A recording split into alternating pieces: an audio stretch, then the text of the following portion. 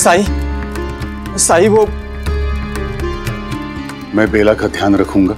तुम दोनों उनको जाके ढूंढो।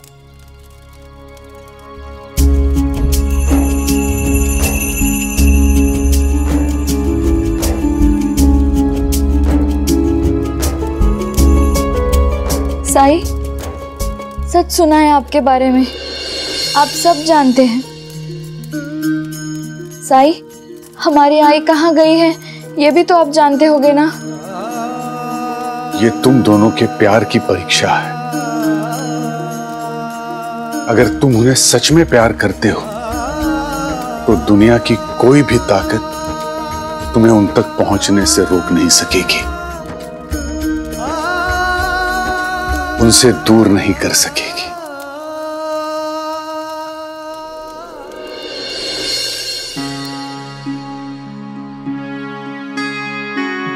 जो खून के रिश्ते थे उन्होंने विश्वासघात किया। जो प्यार से कमाए थे उनके साथ मैं और धोखा नहीं कर सकती थी। माफ़ करना माई आप ठीक तो है ना? कहाँ रहते हैं आप? मैं आपको घर छोड़ दूँ?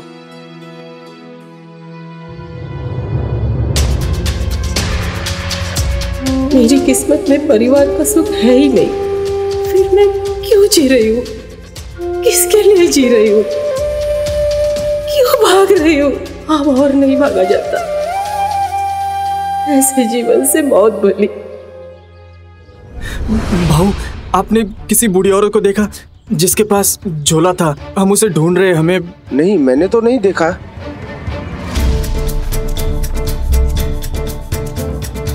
आपने यहाँ पे किसी बूढ़ी अम्मा को देखा? नहीं मैंने नहीं देखा। उनके पास पोटली थी। नहीं।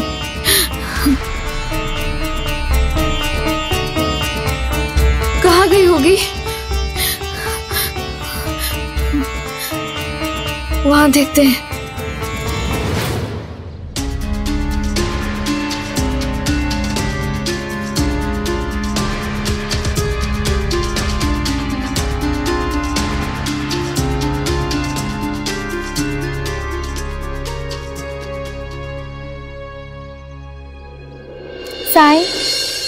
आज ही वापस आएँगी ना? बेटी जितना प्यार तुम अपनी आजी से करती हो उतना ही आजी भी तुमसे करती है। तो फिर वो गए क्यों? कभी कभी और पास आने के लिए दूर जाना ज़रूरी होता है।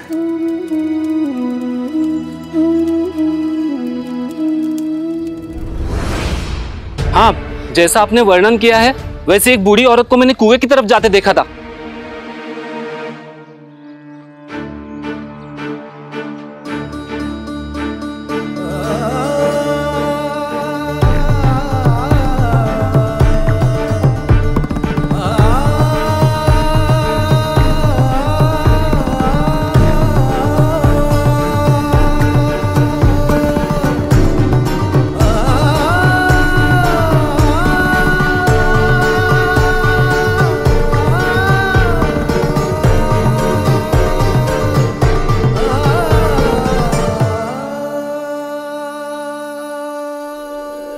तुम्हारी आजी अपने राम जी को साथ लेकर गई।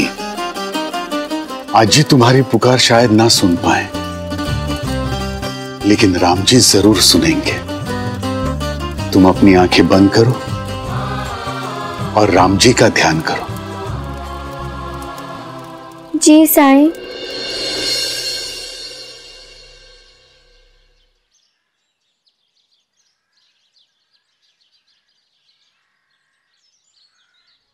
ओ जीवन डगर कभी जो कठिन हो जाए। मन विचलित हो और कोई मार्ग न पाए। अंधियारे की गहरी रात जो आए। हिम्मत टूटे और कुछ भी समझ न आए। तू श्रद्धा पथ पे सबूरी धर के बिना डिगे बस चलता जा। तेरी श्रद्धा भक्ति धीर तुझे उस पार लगाए। तेरा संयम और विश्वास तुझे राह दिखाए।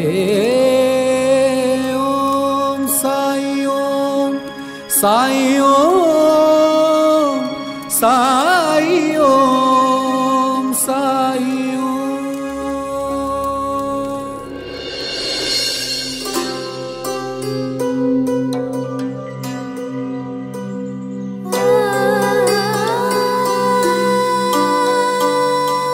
मेरे राम जी को क्या हुआ? इनकी आँखों में आँसू कैसे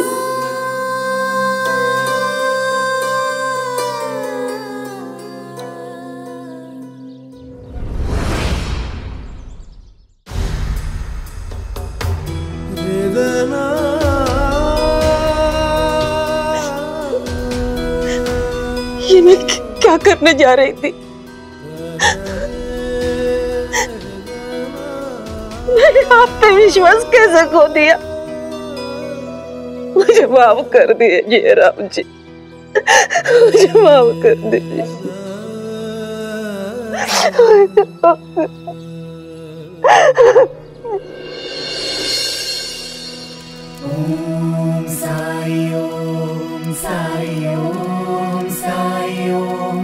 साईं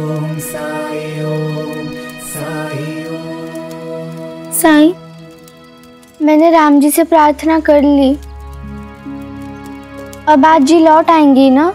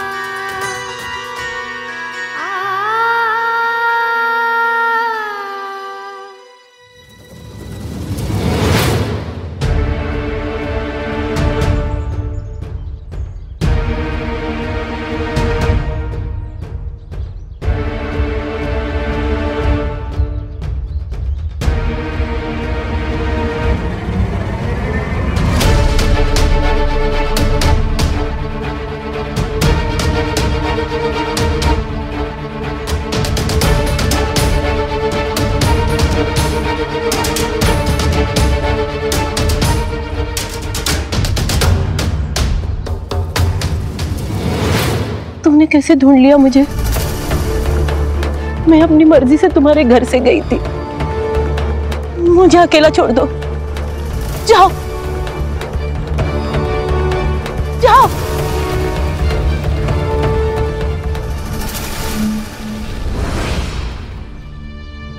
आपने खुद देखा ना? साई ने कैसे उस आदमी की आवाज़ लौटा दी? सारा गाँव उनकी महानता का कई बार साक्षी रहा है। फिर आपको साई की महानता पर अभी भी विश्वास क्यों नहीं आया? चमत्कार का साक्षी होना एक बात है। हर चमत्कार करने वाला इंसान महान हो ये कोई ज़रूरी नहीं। और किस बात पर विश्वास करूँ मैं? उनका मेरा पिछले जन्म का संबंध है। वचन दिया था उन्होंने मुझे हर जन्म में मिलने का। पिछले जन्म की तो क्या इस जन्म की भी उन्हें बातें पता नहीं है। गाँव के लोग उन पर विश्वास करते हैं तो करें, मुझे कोई आपत्ति नहीं है। पर मुझे नहीं होता है भरोसा उन पे। सिर्फ़ साई की बात नहीं है। अब तो किसी पर भी भरोसा नहीं करते। मुझ पर भी नहीं करते। मैं समझ सकती हूँ कि आपने जीवन में जो कुछ भी पाया है, अपने बलबूती पे पाया है। शायद इसीलिए आप सबसे ज़्यादा अपने आप पर विश्वास करते हैं। लेकिन जीवन को और भी अर्थ मिल जाता है, जब आप किसी पर विश्वास करते हैं, किसी पे भरोसा करना सीखते हैं। किसी पे आश्रित होना कमज़ोरी नहीं कभी कभी ताकत भी होती है। जैसे मैं, आप पे भरोसा करती हूँ, आप पे आश्रित हूँ, पर इसे मैं अपनी कमज़ोरी नहीं, अपनी ताकत समझती हूँ। इसी तरह आपको भी किसी पर भरोसा करने की ज़रूरत है। और सारे संकेत यही कहते हैं साही वो व्यक्ति है। अब इस विषय पर और चर्चा ना करें। यही अच्छा है। हम अभी अहमदनगर के लिए निकलेंगे। जाने से पहले एक बार साई के दर्शन कर सकते समय को आवश्यकता अनुसार ही खर्च करना चाहिए। हमें अपनी बेटी के विवाह की तैयारियाँ करनी। हमारी वहाँ आवश्यकता है। हम अभी प्रस्थान करेंगे। नाना?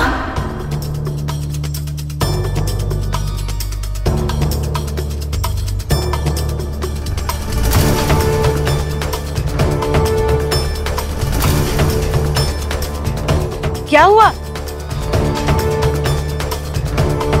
नाना? कहाँ जा रहे हैं आप?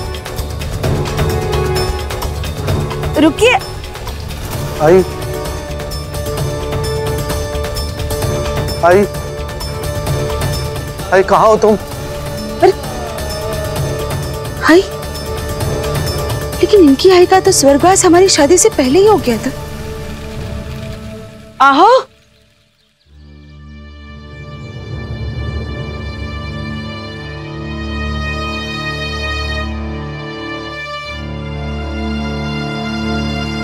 यहाँ तो नहीं है।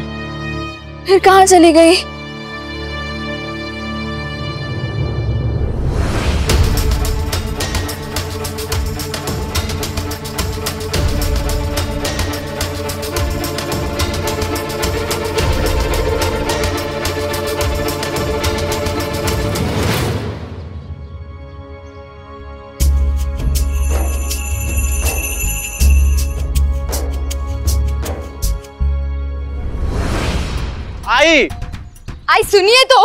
आई हमारी बात सुनिए। आई। आई। आई हमारी बात तो सुनिए। आई हम आपको वापस ले जाने आए आई हमसे जो भी गलतियाँ हुई है उन सब के लिए हम बहुत ही शर्मिंदा है। अब क्या गई? घर की रौनक ही चली गई। रौनक ही नहीं सारी बरकत भी। आपके जाने के बाद समझ में आया कि हमारी सारी बरकत आप ही से थी। हमारा खानदानी व्यापार आपके सुझावों और मदद की वजह से ही अच्छा चल रहा था।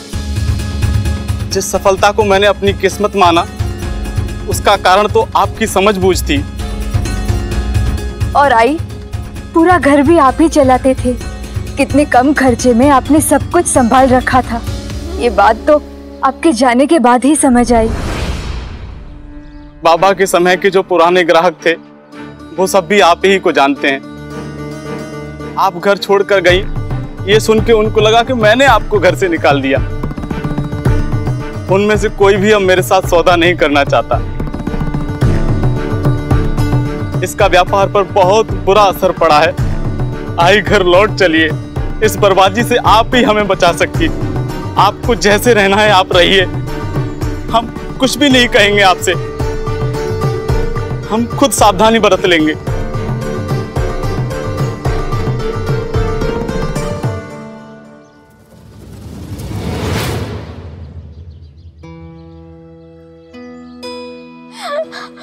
आई को ढूंढ लाइए। उनके बिना हमारा परिवार अधूरा है। उनकी ममता की आदत हो गई है अब। ईश्वर ने पहली बार माँ का हाथ चल दिया। अब उसके बिना नहीं रह जाएगा।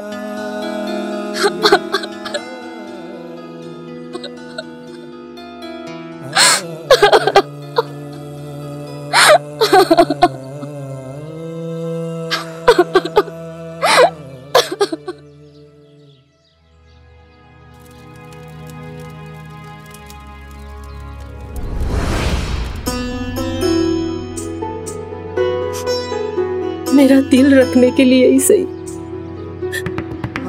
एक बार कह देते बेटा। क्या आई? तेरी याद आ रही थी। इसलिए तुझे लेने आया हूँ। लेकिन बुलाने आए। वो भी खुद के स्वार्थ के लिए।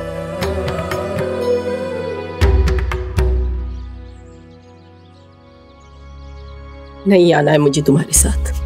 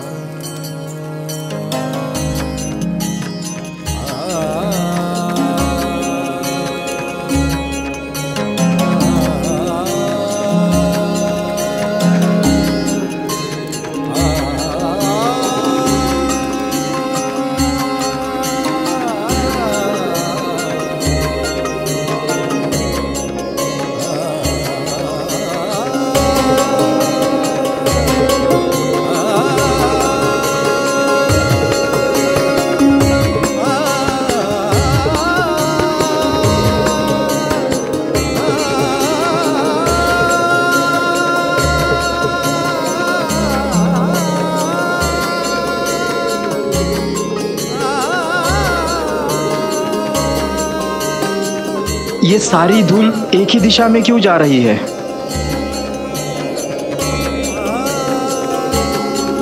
ये ज़रूर कोई संकेत है। इधर चलते हैं।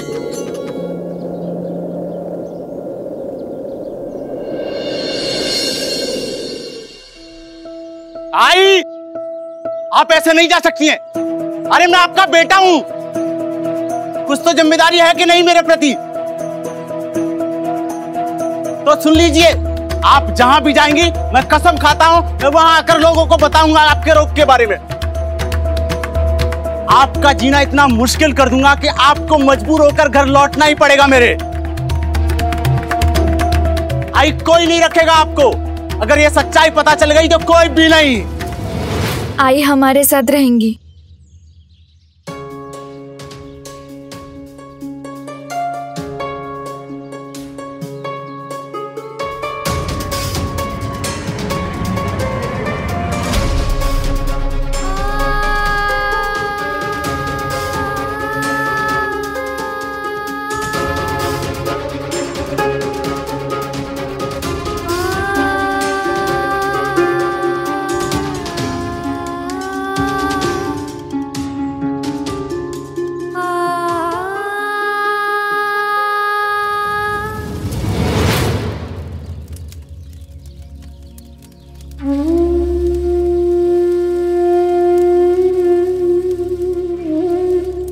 बेटी।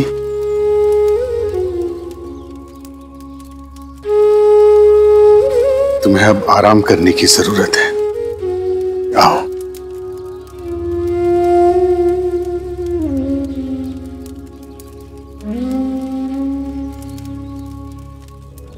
आहो क्या हो गया है आपको? पता नहीं। मुझे आई की आवाज़ सुनाई दे रही है। यही कहीं से आ रही है पता नहीं कहाँ से आ रही। है नाना?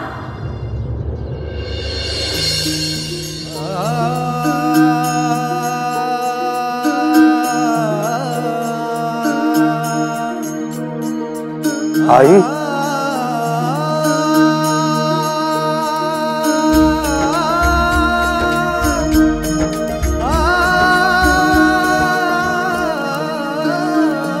कहीं ये कोई साइकिल लीला तो नहीं? अगर आई बाबा आजी को नहीं ढूंढ पाए तो? आजी तो आई बाबा की असली आई भी नहीं है। अगर उन्होंने साथ आने से मना कर दिया तो?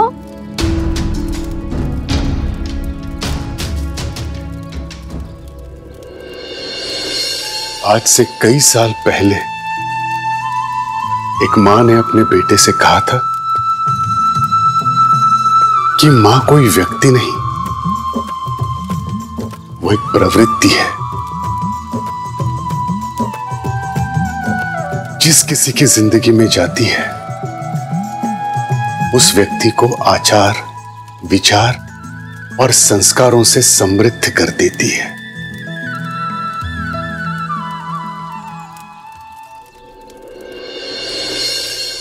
आई? आई? आज मैं कक्षा में अव्वल आया हूँ। अब मुझे आगे पढ़ने के लिए स्कॉलरशिप मिलेगी। मतलब पढ़ाई पूरी करने के लिए आर्थिक मदद। बप्पा की कृपा है। मेरे जाने से पहले मुझे ये खुशखबरी मिली है। आई? तुम ऐसे कैसे कह सकती हो? तुमने तो कहा था सिर्फ़ बुखार है। तुम्हें दुखी नहीं करना चाहती थी, पर सच यही है, इस धरती पर मेरी यात्रा पूरी हो चली है। आई? ऐसा कैसे कह सकती हो तुम? तुमने जीवन भर कष्ट सह सह के मुझे इस मुकाम तक पहुँचाया है। और जब समय आया है कि मैं तुम्हारे लिए कुछ करूँ, और तुम कह रही हो कि आई मुझे तुम्हारी सेवा करनी है, जीवन भर, और तुम हो कि तुम अगर चली जाओगी तो मैं किसके लिए जीऊँगा? अकेला पड़ जाऊँगा मैं। तुम जानती हो ना? माँ कोई व्यक्ति नहीं एक प्रवृत्ति है। जिस किसी की ज़िंदगी में जाती है उस व्यक्ति को आचार विचार और संस्कारों से समृद्ध कर देती है। मैं अगर चली भी जाऊँ तो किसी न किसी रूप में तुम्हें मिलती रहूँगी। नहीं आई। तुम मुझे इसी रूप में चाहिए। तुम मुझे छोड़कर नहीं जाओगी। सुन रही हो? तुमने तो मुझे हमेशा हौसला दिया है। मेरी हिम्मत बढ़ाई है। तुम खुद हिम्मत कैसे हार सकती हो आई? मैं किसकी सेवा करूँगा? कभी भी किसी जरूरतमंद माँ को देखना तो उसकी मदद कर देना। वो सेवा मुझ तक ज़रूर पहुंचेगी।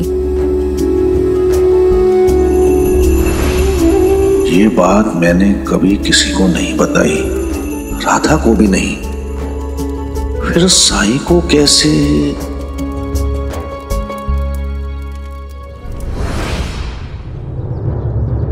रुको।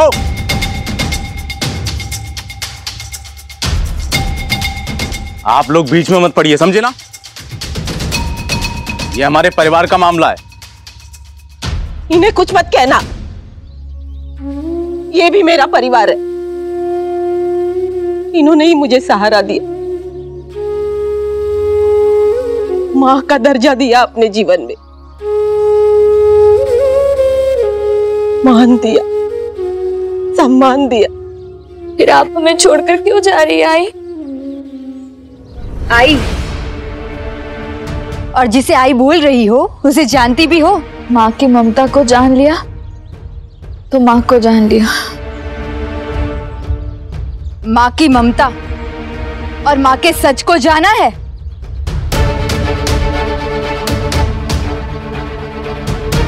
अगर इनका सच जान लोगी ना तो खुद ही इन्हें बाहर का रास्ता दिखा दोगी।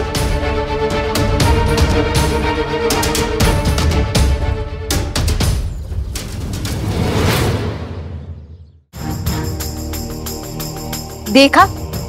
इन लोगों के घर पे रह रही थी आपकी आई। मगर इन लोगों से सच छुपा के, जैसे अभी भी छुपाया हुआ है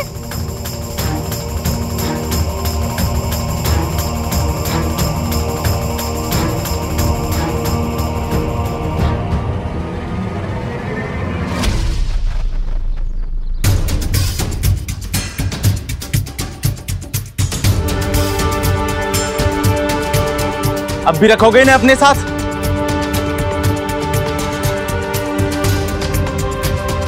आई, ये तो सच है कि आपने इतनी बड़ी बात हमसे छुपाई है।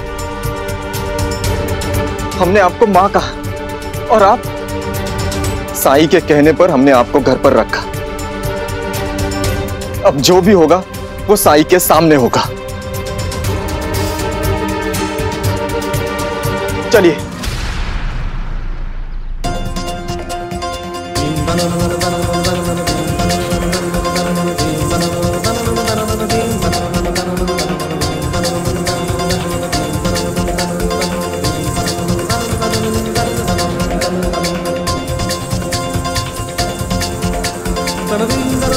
हम सब एक छत के नीचे होकर भी परिवार की तरह नहीं रह पाए थे। लेकिन आप आई तो माँ की ममता भी मिली और बेटी का प्यार भी लौटने लगा है। बेला ने भी आपको आची कहकर अपना बना लिया है। अब क्या हम भी आपको आज से आई कह सकते हैं?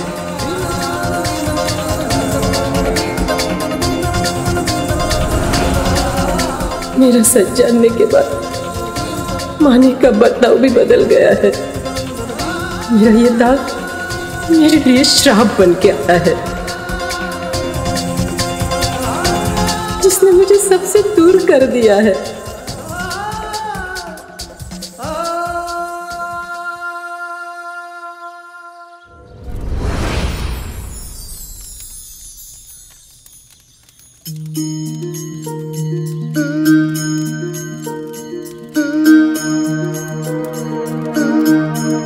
बात मेरे अलावा किसी ने भी नहीं सुनी। वो आपको कैसे पता? मेरी आई को देह त्याग किए हुए कई वर्ष बीत चुके हैं। फिर मैंने यहाँ आते कैसे देखा? क्या हो रहा है साईं?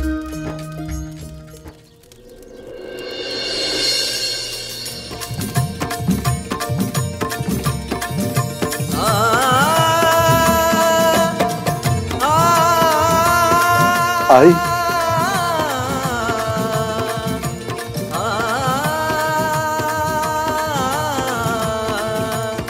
मैं अगर चली भी जाऊँ तो किसी ना किसी रूप में तुम्हें मिलती रहूँगी।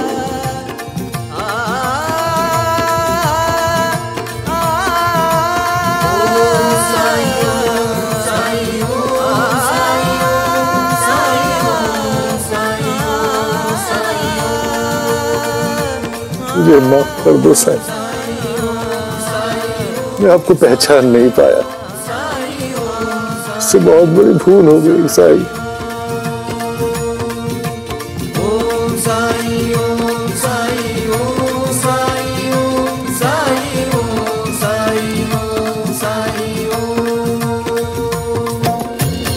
नाना, एक सरकारी अफसर होने के नाते तुम समाज का बड़ा उद्धार कर सकते हो।